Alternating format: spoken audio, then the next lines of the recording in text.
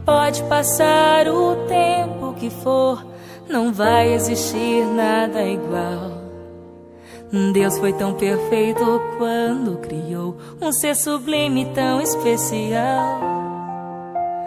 Não importa como ela é, e nem importa de onde vem.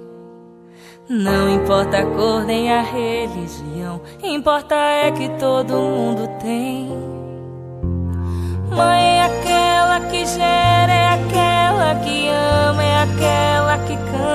De ninar e que num abraço faz o medo passar. Mãe é aquela que adota, que chama de filho, que pega na mão e te ensina a andar, te deita no colo e ensina a amar.